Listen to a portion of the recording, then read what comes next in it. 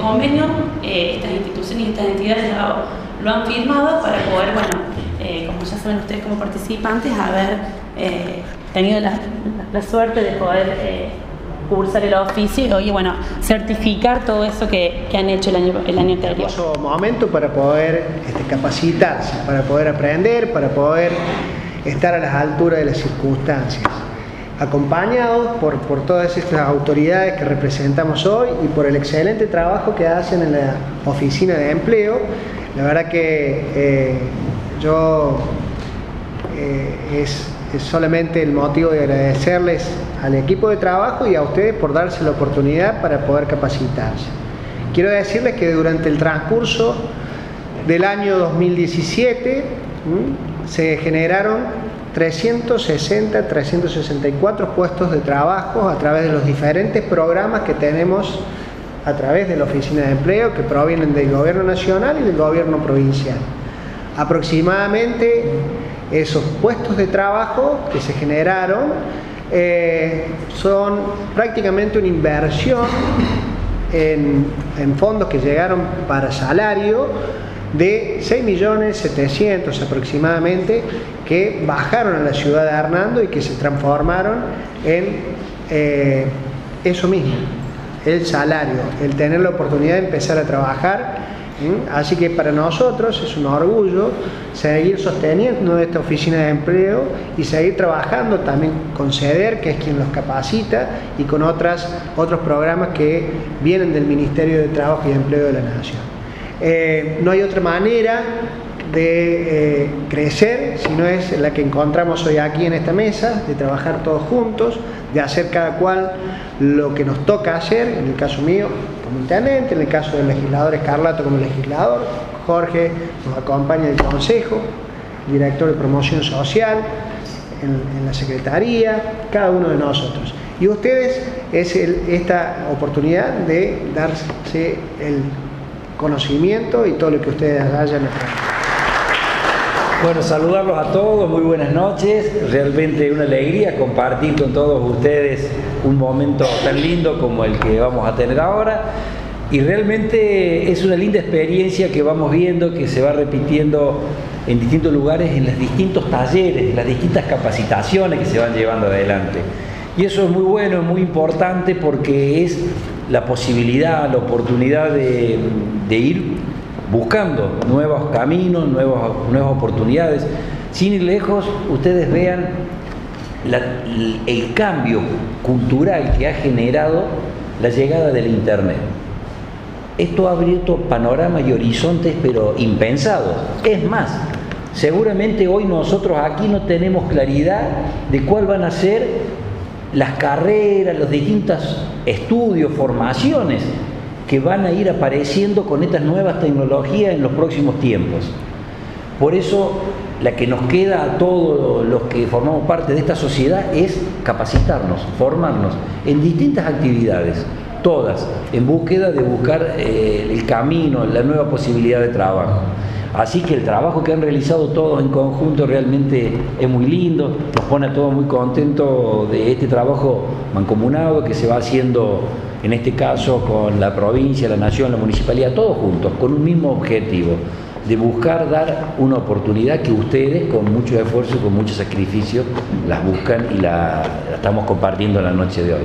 Así que agradecerles mucho esta oportunidad de compartir este momento a todos. Eh, en lo que es a nivel departamental, el CER se encuentra ubicado, para los que no conocen, en Río Tercero, está su casa central, que actualmente está, está con 600 eh, alumnos que están, están cursando capacitaciones y respecta, eh, tiene desde la localidad de Corralito hasta Oliva, Villa Escazú y Colonia Alma y todo lo que está sobre la ruta son localidades que dependen del CER de Río Tercero y trabaja con todas las capacitaciones de formación profesional.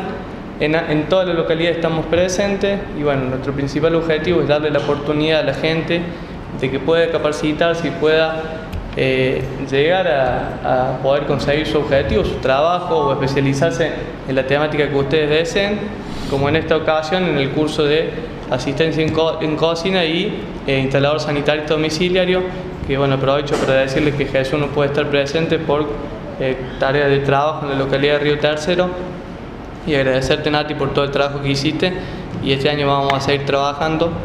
Aprovecho el medio, ya que están los medios de comunicación, y algo estuvimos trabajando con las chicas de la oficina, sepan que vamos a estar dictando nuevos cursos, eh, algo ya eh, hemos informado, vamos a estar dando cursos de eh, asistencia en pastelería, por la demanda que tuvo el año pasado se va a volver a dictar asistencia en cocina, y bueno, estamos trabajando también con otras instituciones locales, como es la cooperativa de obra y servicios públicos, como son instituciones eh, que están en la localidad para poder eh, aprovechar un 100% y poder darle la oportunidad a todos los vecinos de la localidad de Hernando con, estas capacitaciones, como así también seguimos trabajando con todos los programas que tenemos a nivel provincial, que gracias a Dios son muchos, de la Secretaría de Equidad, eh, hace muy poquito se cerró la inscripción del programa PIRA y el programa Por Mí, y siguen abiertas, dejo las puertas abiertas para que también trabajemos en conjunto con la oficina, con Ramón, el programa PILA, que es para hombres mayores de de 25 años. Agradecerles a ustedes haber confiado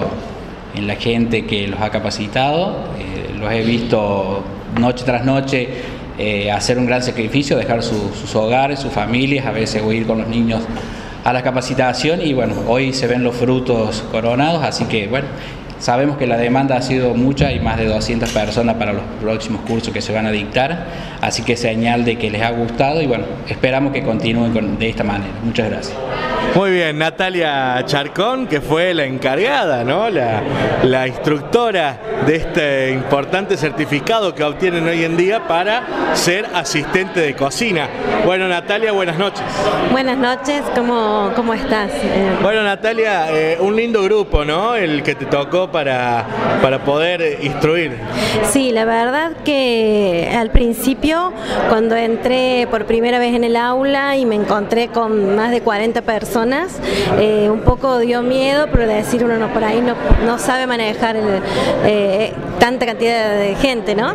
Y bueno, cuando fueron pasando los días, esas personas eh, se fueron haciendo, se fueron integrando, por decirlo así, y generamos un lindo grupo, una linda amistad, porque más allá del compañerismo y de que bueno, ahora son todas colegas, se genera una linda amistad, un lindo. ¿Cuántos meses duró este curso? El grupo, el curso tres meses tres meses, tres, cuatro veces a la semana. Eh, la verdad que pasamos muchas horas juntas, muchas horas juntas y todas bien aprovechadas. Sí, sí, cocinando y aprendiendo, porque no solo se dictó la parte de, cocinar, sino también la parte eh, teórica, que fue lo que más exigí. Obviamente cuando salen del curso no es solamente saber cocinar, sino cómo manejarse con, con los alimentos, ¿no es cierto? Según adelantó Santiago Zanotti, va a haber más cursos. Sí, están armando. O sea, yo estoy informada hasta cierto punto.